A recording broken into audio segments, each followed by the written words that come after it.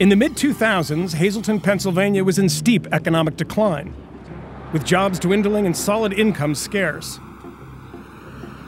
In response, lawmakers pushed through a series of ordinances that would make English the official language of the town and ban landlords from renting to the undocumented. Those ordinances never came into effect. And 10 years later, the city is 50% Latino and seems to be on the rebound. It's a story that's becoming more common across America as small towns face a choice between preserving their identity and saving their economy.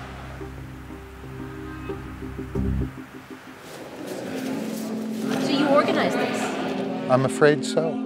It's a busy time for Bob Curry. Thank you. Thank you for coming. Mayor? Thank you. How are you, buddy?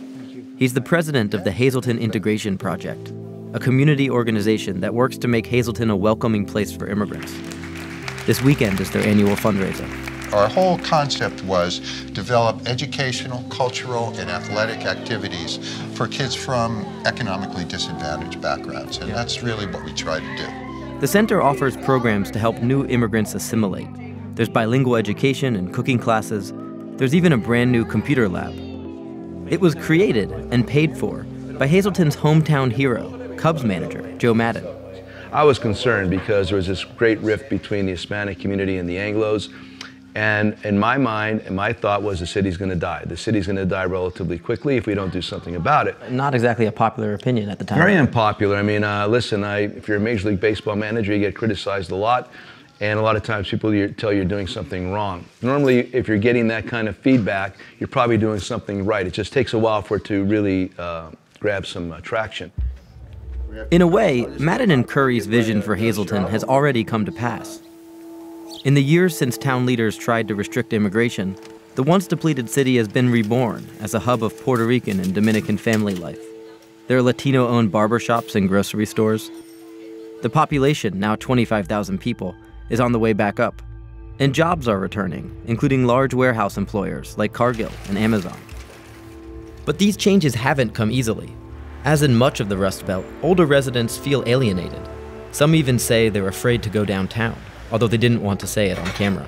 One of the things I hear a lot in talking to people this morning is just a lot of people who just feel like there's just a general feeling that I can't go down to Hazleton anymore. It's not my town anymore. There is that feeling. Uh, I'm not. I'm not going to deny that. That feeling is there. Um, it's not the same Hazleton it was, you know, 30 years ago. I think this is a perfect example of what you saw in blue collar towns across America. Lou Barletta is the local congressman. He was mayor when Hazleton passed its hardline immigration law, something he says was focused strictly on undocumented immigrants. You say the illegal immigrants have brought with them drugs, they brought with them crime. He was one of President Trump's earliest supporters. If you think that illegal immigration isn't a big part of why Donald Trump won in this area, you'd be mistaken. It, it, there's no question. They're seeing their wages being depressed. They understand that the, what the problem of illegal immigration means to the worker. Uh, when they see companies leaving, uh, it affects these type of towns. Barletta has a point. Hazleton's improvements have come largely at the expense of its older residents. But the improvements also pose a conundrum. If Hazleton's economy grew thanks to an influx of immigrants, would it have happened at all without them? Those factory jobs wouldn't be here if it wasn't for the fact that we had an influx of labor. And that labor happens to be younger and it happens to be Latino in many cases. Francisco Torres Aranda is a local businessman, originally from Mexico City.